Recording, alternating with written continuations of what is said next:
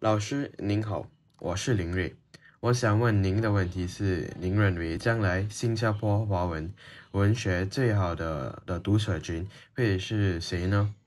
谢谢您的回答。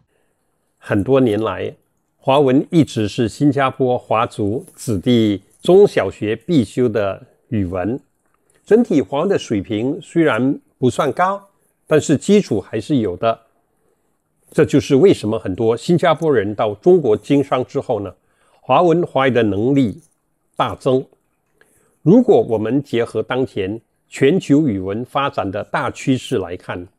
随着中国迅速的和平崛起，影响力日益壮大，华文华语也跟着水涨船高，新加坡肯定会有越来越多人重视华文华语，阅读华文的风气也会逐步提升。如果再加上为数众多来自中国和马来西亚华文华语水平高的学生在新加坡求学，我相信呐，这两方面浩浩荡荡的人马将联合组成将来新加坡华文文学最好的读者群的大军。